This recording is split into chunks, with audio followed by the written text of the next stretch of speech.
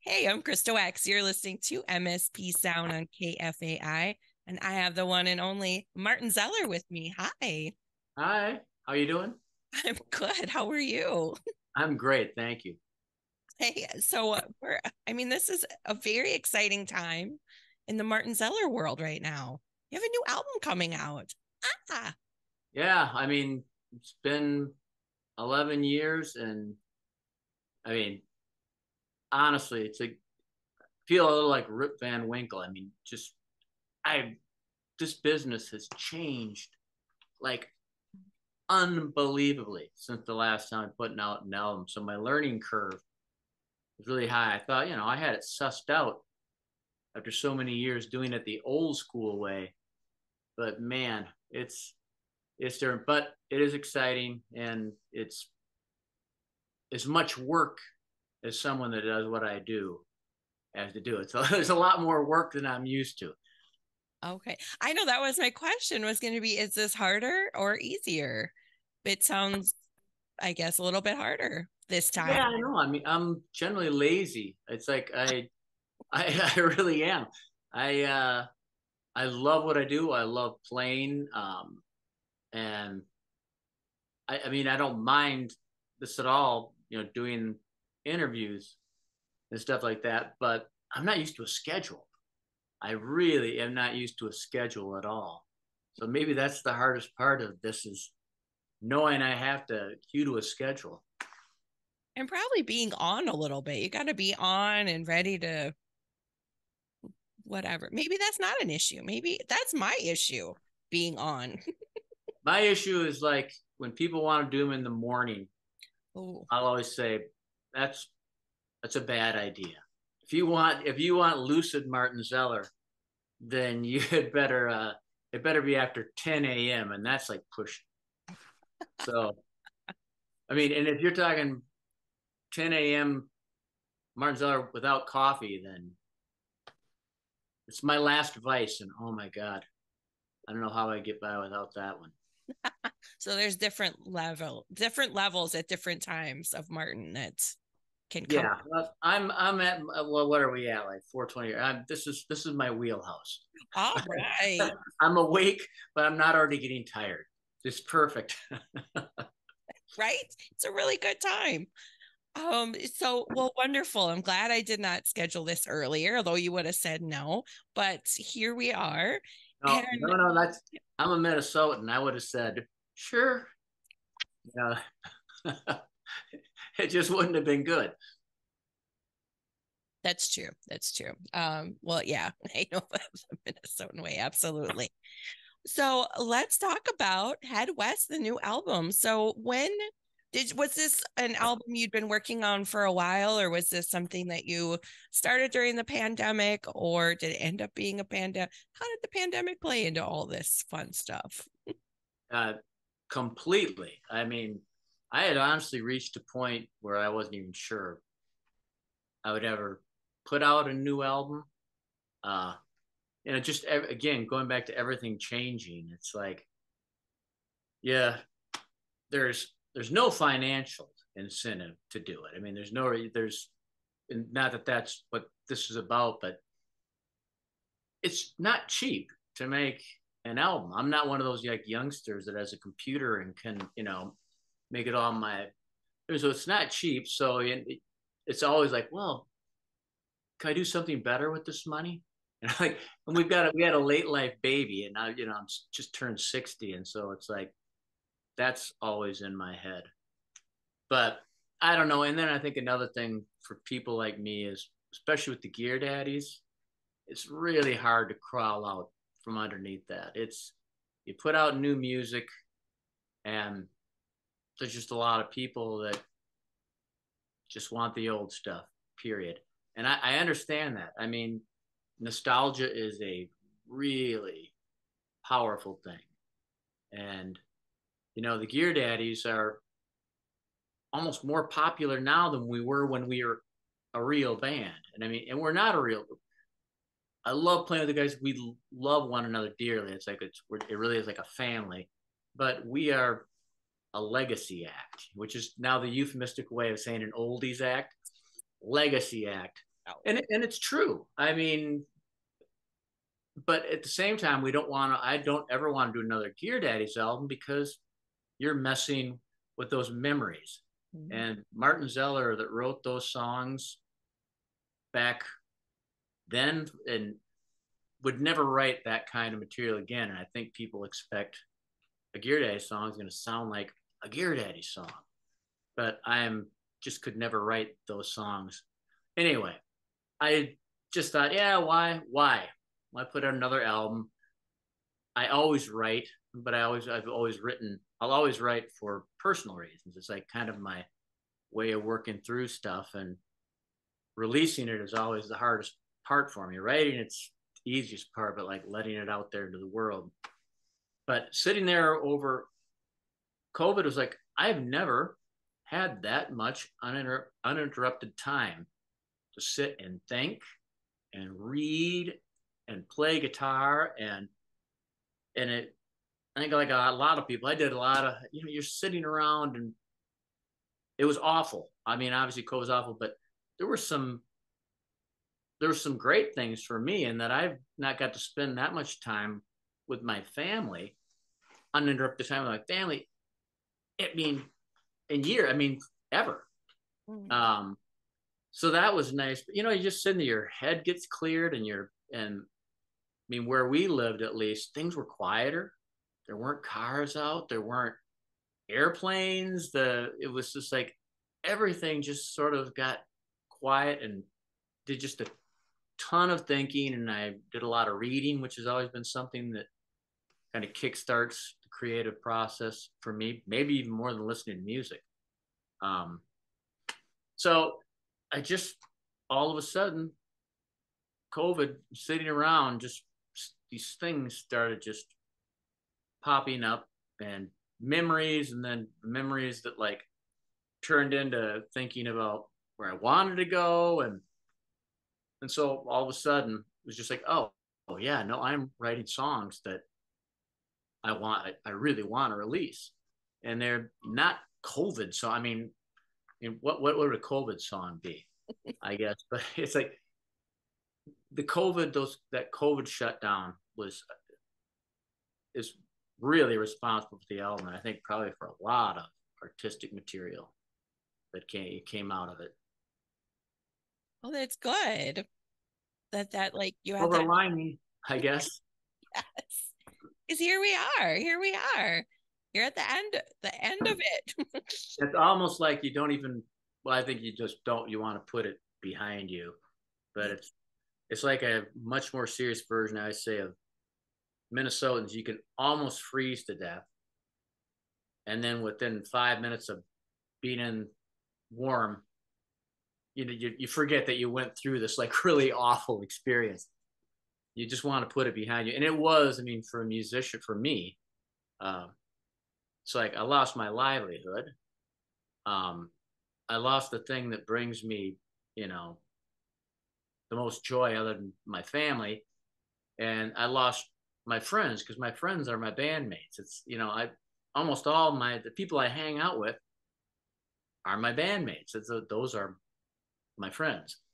And so, you know, I kind of lost for a couple years there, lost all these really important things in my life. But again, found some silver linings as well. That's good. Well, it's important to find those silver linings. It was it's a weird time. It weird, was, a- and I'm usually not very good at that. I'm usually not a. I'm usually a half glass uh, empty kind of guy. I'm not so. so these songs are all written primarily you know during the pandemic and recording were you recording this at home did you set up a home studio or do you have a home studio and just kind I, of there i have i had we just finished it like less than a year ago a really beautiful studio in our back garden um, and I've been doing this for so long. It's like I've got all this gear that's accumulated. So all of a sudden I realized, oh my God, I've got, you know, all these mics and all these instruments and all this gear. I mean, and the now the the processors, the main thing are so cheap. You can buy for a thousand dollars. You can buy this processor that does more than a hundred thousand dollar, you know, board and processor did back in the day. So that was the cheapest part. So put together this really beautiful studio and then came to realize I have no idea how any of this stuff works. And I I still don't. But luckily I have uh, sons that do. So this was really a family album and not like trying to be cutesy. Let's get the family. It was just like we were all there. My sons are amazingly, I mean, brilliant kids, but and then my our our oldest son, Wilson, is like a savant on guitar. So we're all just sitting there, you know, alone, and it just it it's just so serendipitous. The whole thing, studio got finished. We were all there together. Um, I had all these songs that had suddenly come to me, and these all were like independent of each other. Like it wasn't like a linear thing. It's like just just happened to be building a studio. Um, just happened to have everyone together, and just that all happened to coincide with this sort of burst of songs. So I this album just felt like it was meant to be. But yeah, I mean, I don't think I'll ever learn how to use that stuff. I'm always going to have to, to have someone to do it. I I don't think I have any interest in learning how. That's probably just a lazy way of saying like I'm not. I don't want to do it, but that's all right too. You have people who can help you. Well, yeah, it's, it's family for me. And it was on in my uh, so our youngest son Owen is just like a tech was it two and is uh did a lot of the Wilson mixed master engineered mixed and mastered the entire album and Owen uh, acted as assistant engineer for the whole thing and also acted as the principal engineer for most of the vocal tracks most of the vocal tracks are just he and I sitting in the studio and then we have a very very late life surprise baby. So Wilson just turned 31 and our daughter Clementine just turned 14. So we had to get her involved. I mean, she, I mean, so she came in and played, did some percussion on a song. And then my wife is a seriously gifted photographer and she did all the album photos, front and back cover and inserts and everything. So it really was a family affair, but everyone was super qualified to do it. Oh, and Wilson, that Wilson played every guitar track on the album, every single one. I did acoustic demos sitting there, you know, with an acoustic guitar and singing. And then he took those and kind of replicated my uh, rhythm parts and but made them played them away quicker than I could and made them sound better. But he he played below his skill level to try to like match my rhythm parts. And and for me it's like i'm losing the cartilage in these fingers. And so it's like the repetitive nature of playing in the studio is really it's almost impossible. So that was fantastic. And wilson is just incredible guitar player i mean yeah i don't it's nuts so yeah i mean it is it was and Nick Ciola played all the bass, who's played all the bass on everything I've ever recorded. He also is Wilson's godfather. Um, and uh, Randy Broughten from the Gear Days played quite a bit of pedal steel on it. Um, Allie Gray, who sings with our Neil Diamond thing, came in and sang, and uh, Scott Winham, who I've been playing with for years, the drums. And I went down to Austin, Texas for a week and had uh, three different players down there at mandolin, lap steel, pedal steel, and this vocalist who ended up doing a duet with. Wow, that's quite the crew.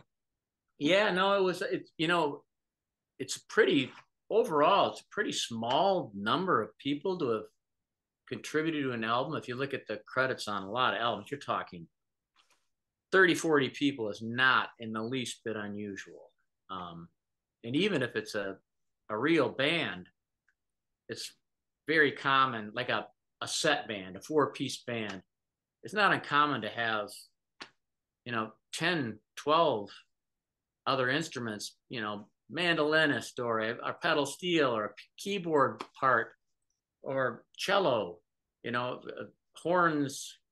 So overall, in the it's a it's a pretty small group of people that contributed and are but a very very tight knit group. I mean, especially the Minnesota gang. It's like literally family, or like Nick, he is as close to I mean, he is family, and these other players who I've known for 25 for 25 to 40 years too. So yeah, it was a very tight knit group that made this album. That's incredible. Congratulations. That's amazing.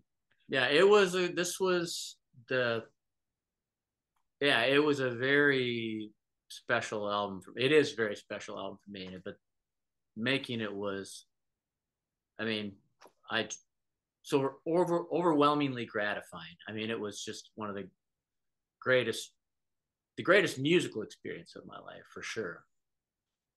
Oh, that's wonderful. And, and I played the Blooming Prairie Homekind. So, oh. you know, uh, that's that's no little thing. No. No. that's not. That's people, a feather in their cap like that, most people they can, you know, they can rest their laurels on just that. So not you. You're not doing no. that. nope. I keep pushing for a new a new hill to conquer. Yes which is where we're at. I feel like that's where you're at. I mean, now the album's done and now it's time to celebrate, right? Oh, absolutely. This is the this gets to this is the well, I should say this. Usually this is the fun part, but making this was fun for me, which is honestly I've never liked being in the studio. To me, it's like repetitive and it kind of just you're playing something over and over, you're singing something over and over and it takes the spontaneity out of it. You you start getting a little robotic overthinking what you're playing instead of just playing away. And there's no instant gratification. You know it's like you play live people clap you know you did something you know you know you did something that made people happy or they liked you get a check at the end of the night it's like there's instant gratification like for these for every other but being in the studio, it's like there's no feedback. It takes a lot of time before it starts to come together, and you can really get an idea whether it's you're loving, liking it or not. And and but this time, so every other time, it's almost like recording's been an unnecessary evil, so to speak. But this time, it really was like a, an amazing experience, start to finish. Well, that's good. And now I mean, well, we can talk about the upcoming release show. They are sold out, everyone. So don't, they're about to sell out two yeah, nights. There's 15 seats left for the Friday night show, which is the second show added. Oh my God. Started with the Saturday, that sold out very quickly. So we're luckily we were able to work with the Parkway to get the, a second show on the front end. But yeah, there are 15 seats left. Get out there get out there. How how does that feel for you to be like, okay, I'm gonna do this. I did this album, I recorded it. I'll do, you know, hometown release show, sells out like that, and a second show added, almost sold out. How do you feel after all that? That's I can tell you how I feel for you. I'm excited for you. I take nothing for granted. I honestly don't. It's like I know it's one of those old cliches. that's like we have the best fans, but I really do think like the Gear Days have the most loyal fans. You look at this, that band put out two albums, two albums. How long? I mean, one the last one was put out with 30 years ago. Um, and we can still sell out First Avenue. You know, however many years later, on the on the basis of two albums that are that old, I mean, that's a loyal fan base. And I, again, it's, we were talked about this before we started taping, but nostalgia is a really, really powerful thing. as it is for me. I mean, music, hearing a song that you know was like, I still, if you, if I hear Del Shannon's "Runaway," I am right back to sitting, you know, in my bedroom in sixth, fifth, sixth grade, just like absolutely blissing out over it. So yeah, music nostalgia is a very, very powerful thing, and with music especially.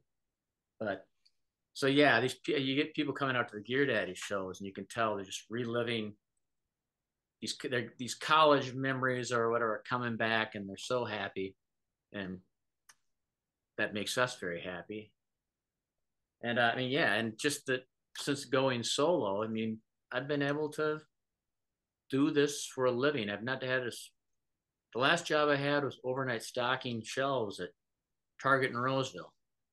So that's been a long, long, long time. I've been able to do this and nothing else. And that, if you told me that, you know, again, when I was sitting in fifth grade in my bedroom listening to Del Shannon, someday I would get paid to make music at all, that people would come see me play, that I get paid to do it, that I would succeed, you know, let alone like that I'd be on Late Night with David Letterman or I'd be written up in Rolling Stone or those things they were just blown. It been like no, you know, those things happen to people in New York and in L.A. They don't happen to people in Austin, Minnesota. You know, from Austin, Minnesota. So I honestly I don't take anything for granted. And it's like we we had the one show booked. I wasn't expecting that to sell out, like let alone sell out that quick. I so, and then when we had the second one, I'm like, oh, I don't know if we'll be able to. And and honestly, I think it would most I mean of those 15 seats left, they're all single seats, so it's kind of hard to sell those tickets anyway sometimes. So no, it's it's it's amazing. That's that's so exciting. And so so people don't be don't be sad if you didn't get a ticket. You're still doing there's I feel like I've been seeing a lot of announcements of local shows coming up that you're performing and you're also going on a little tour too. Yeah, been a been a while. It'll be a series of tours. Uh, we're starting out doing the Midwest stuff, but then we're just playing our way down 35, uh, just doing Austin and Dallas, Texas, and then LaGrange, Texas, because there's a an amazing little singer songwriter listening room there that I really wanted to do and then we're just doing Phoenix, LA, and San Francisco, flying home from there. And then we're gonna do the play our way out to the Pacific Northwest, like out wet through there to Denver, and then hit Portland, Seattle on a separate tour. And we're just we're doing Des Moines, Kansas City, Omaha, Chicago, Milwaukee on another little tour. And then I'm saving the East Coast for after winter because I touring the East Coast is the logistics of it are really tough to begin with, but in winter, it's not something I want to tackle. And I, I'm in no hurry. You know, this is just promoting this album will be a, you know, a, a year long, you know, minimum endeavor. I'm not trying to just like come out of the gate. I just, I don't have the financial or even inner the wherewithal inner energy wise to do it, you know, like try to plow, come out of the gate and just keep going. So it's going to be a, a year long process. Okay. So many opportunities see you perform. yeah. Go to, if you go to my website, especially, uh, you know, if you get to, if you're out on the East Coast, oh yeah, if you're out on the East Coast, we're doing two shows in San Francisco, the Bay Area. Um, but if you go to my website, it's it's incredibly gratifying because I don't get out uh, out outside of the Midwest very much, and so you know the last time I did it, I'm like, ah, no one's gonna show up, and we had crowds in every market. It's like, wow, people still know who I am on a national level. To I mean, not like they do in the Midwest, and be frank, you know, we show up in Phoenix place is packed and thinking really like, wow, man, I'm big in Phoenix until I find out everyone there is from Minnesota, Iowa, Illinois, or the Dakotas. Like all these transplanted Midwesterners that have all moved to Phoenix. So, but I, I mean, I'll take whatever I get. Yeah, it's a following. Well, following is still following's a following. Yeah. Yeah. Well, that's exciting. So the album, okay, so Head West is coming out. By the time this airs, this it will be out, so people can stream it. Are there physical copies, CDs, vinyl, or what's yeah. happening? Yeah, there are. I mean, there's another way. You know, the industry is just like I don't know what the hell is going on anymore. It's like I have to ask the president, like, do people buy CDs? Should I be even pressing CDs or what do you call it? Burning? Don't know what you do with CDs, but and for the dim, my demographic, there are people that still buy CDs. Where I could talk to my sons, they just roll their eyes like, "What?" And no, we don't. Uh, but vinyl too, really cool vinyl. It's uh, the artwork is, this beautiful California shot that my wife took, and then the vinyl is a matching like sky marbled cloud sky blue vinyl. So it's a really cool vinyl package. Okay. Um, and then yeah, streaming on all your all this whatever they are, the streaming services. all streaming. I'm an old man. Ah! Like it's just a lot. There's a lot going on in music. I mean, who'd have thought you'd be like, we're streaming, we're putting out vinyl and CDs still. Like those are some mainstays. Yeah, and everyone thought vinyl was gone, gone. Right. I just was talking about that with someone. This was someone else, like trying to figure out. There are people that have bought uh, Gear Daddy's albums on when it first well when Let's Go Scare Al came out, it was only vinyl. So people have bought Let's Go Scare Al on vinyl, cassette, CD, downloaded it, and now are streaming on. So it, it's on its fifth, it's on its fifth format. Wow. And none of these were small, you know, it's like, I mean, I think it came out on the micro tape or whatever too, but I'm not even going to count that. But we're talking five very real musical formats that's come out on, and there are people that have bought it and I'll, I bet I bought the Clash. I bet I bought uh, I bought London Calling on every single format for sure. So I mean, you got to do it if it's your favorite album.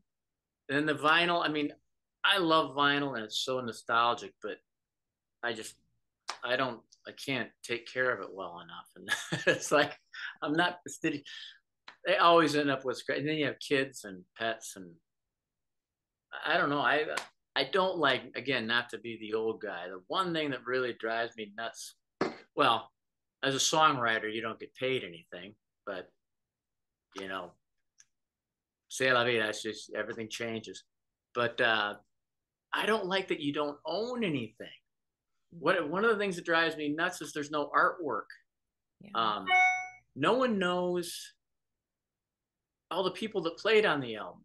I mean, I I remember just I would sit and listen to Born to Run with that dual full album. I could to this day tell you every person that played on that album. I could tell you the name of his manager. I could tell you his label. I could tell you his booking agent. I could tell you every. I could tell you almost everyone he thanked. It's like I just sat and studied that, and now, you know, people may, know it's a Beyonce album. They don't know who wrote the songs. They don't know who played. They don't know these incredible musicians that played it. They don't know these incredible studio professionals that made this happen. They don't know, you know, the people behind the scenes, the management and everything. That they don't, they don't know any of that, and that's what's kind of. I mean, plus the artwork. God, album artwork was so great. And then, you know, it got reduced to the smaller with CDs, but still, it was something. And now, you know, just not having any of that. So that's I I just miss not having something to hold, and also that, you know, the, the whole world goes to hell and internet disappears. We're screwed. We don't we don't own we don't own any music. Right.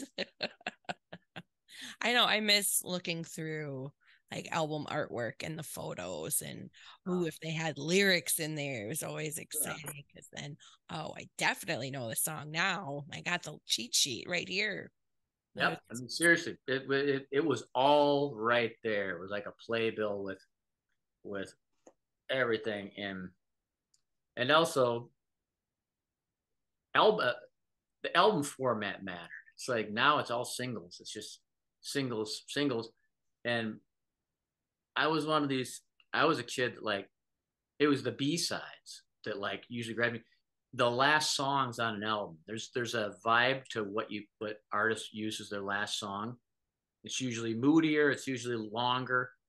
Um, those those last songs were some of my favorites on most of my favorite albums. Now it's like there's you know there's you know a lot of them you don't even hear any of those deep tracks because it's all about singles. But again, everything changes. I'm not, you know, it's I'm not saying what's right or wrong. I was saying like I I know what I miss and it, it bums me out, but the, the the business changes. The business changed always. Yeah, it does.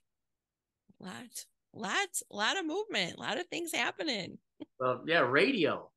You would you would know as much as anyone. I mean, look at just what's changed in how music is delivered, how people get their information. It's uh, yeah, it's just. I know. I am. I am surprised how much. Uh, I mean, it doesn't feel like radio can be as relevant anymore, but I am still surprised at how relevant it can be, or how artists are still excited. It's fun to still hear that artists are excited to hear their music on the radio. Oh, gee, yes. Too. So same with print media. I mean, there's something there's something way more exciting about holding a newspaper in your hand, a physical newspaper hand, and seeing there's your picture, there's these words. Um, then uh, then just you know reading it online.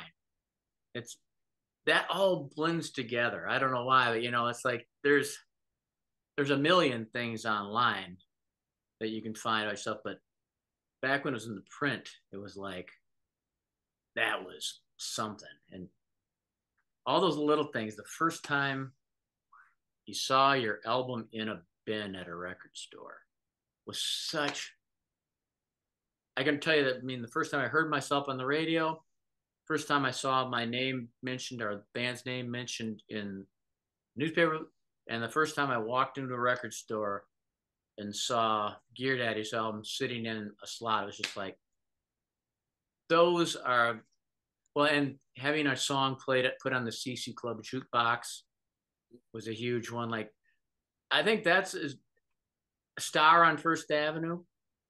Yeah. Those things are like as big as you know way bigger than having been in Rolling Stone. You know, that was cool getting, and it was cool being on Letterman. It's cool. had a lot of really cool stuff happen.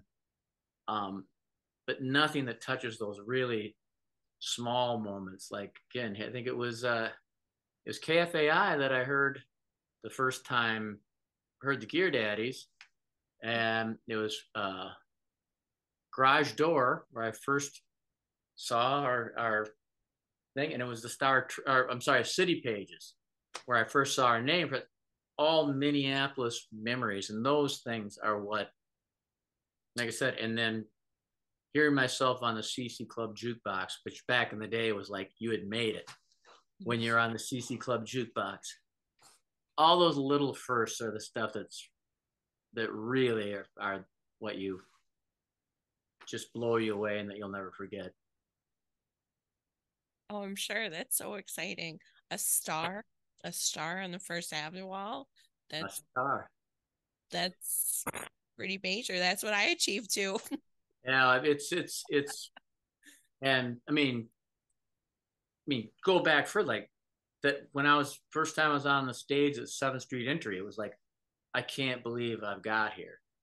Then next step, getting on the stage at first the main room, and it's like, I can't believe I'm up here. And then all then you have then a star on the wall. It's like this is just all. Th- I would have been blown away if I had stopped at the first level. Just if I had to know that I played on the Seventh Street entry stage would have been incredibly special to me. I mean, if it had just stopped there, and the fact that it's moved up to that is mind-boggling. Again, for a guy from Austin, Minnesota, that you know, Adam is better, than a dreamer and a kind of a super, super depressed little sad kid, and it was to think that you know any of this stuff has happened is still crazy to me. That's incredible. You've just had such an incredible career, and I just think you've had such a great part of Minnesota music history. And it's it. Congrats, congrats on the new album, and thank you for coming on the show. This is just this means a lot too. So, thank you very much for having me. It's great.